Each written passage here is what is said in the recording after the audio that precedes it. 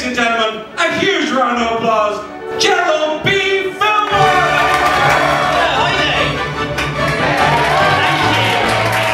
Hello, my name's Gerald. It's great to be here. Such an honour. Let me tell you a little bit about myself. I have a dog. Um, I'm married. Uh, ooh, I love my dog. Uh, such a great dog. Although my relationship with my dog is not very easy because um, he's not very intelligent, he doesn't pay for anything, and he doesn't really know how to speak English. It's pretty much like dating an actress. Uh, I'm Spanish. My dog's English, that's why I sound like a 16th century magical midget. Uh, Americans love that joke. Do we have Americans today? Yeah. Yeah? I love your country. Uh, I spent a few months there in Los Angeles. Los Angeles is the place, the best place to, to be unless you're into history, culture, human rights. But that's not my thing, so I really love Los Angeles. Oh, I went to Universal Studios, that was great. And actually, I saw the stage where they shoot um, Walking Dead. It's a great stage full of zombies. Well, they just call it downtown there. But I love LA, especially because I think LA is the best place to be if you're a kid. I come from Zaragoza, it's a Roman city between Barcelona and Madrid.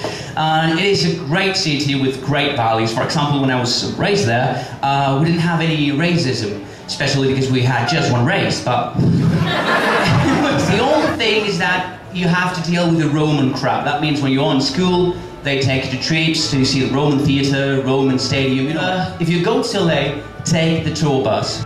It is great because I don't have things to tell. So what they do is they'll just play the Beach Boys for 30 minutes, and then they'll, they'll start telling you things like, well, if you look at your right, you'll see the famous restaurant Taco Bell.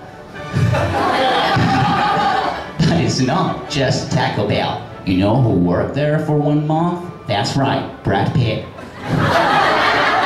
so who knows? Maybe if you go there, you'll see the next Brad Pitt working. But no, no, the only thing you can see is five pissed off Mexicans working really hard.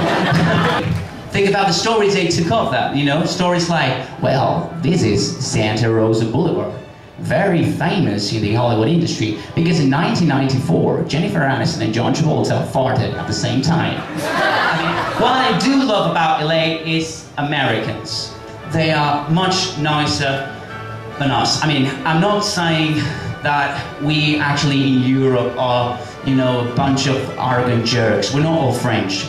But, no, it's hard to be French, it's hard to be German, but it's even harder to be Spanish. I don't know if you guys heard about what's going on now in Spain. Uh, we're having a little bit of a crisis. Uh, Antonio Banderas got divorced. Um, thank you. I mean, I love Antonio Banderas is just a national hero. He's he's great. I mean, he's done great blockbusters and flicks like The Mask of Zorro, uh, Philadelphia Two Much, and of course all the intellectual, sophisticated films like Pedro Almodovar films or The Puss in Boots. I mean, he's done a lot of great things. The only thing that happens to me with people like Antonio is that I can't picture them doing regular things. I mean, it's the same thing with Michael Jackson. You can't imagine Michael Jackson in Mexico having a fight with someone.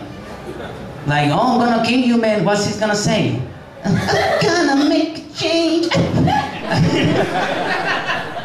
oh, I'm gonna kill you, man, and I'm going to do it alone. Oh, you're not alone. Same thing with Antonio Banderas. I don't picture Antonio Banderas doing something like setting the table, right?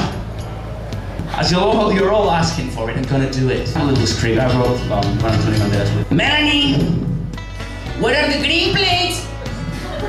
For some reason he has this weird Mexican, Spanish, Latin, Miami accent that no one understands, but anyway. And Melanie goes, uh, my Melanie impression is even worse, so don't worry. I don't know, Antonio. Melanie! Could you come here? What do you want? Melanie, Melanie, Melanie, Melanie. We meet again. What are you talking about? Look, look, look, the green plates are dirty. Oh, great. This is great, Melanie. The same shit. The green plates are dirty. So what are we gonna do about it, Melanie? Uh, I'm so intense, I can't believe it.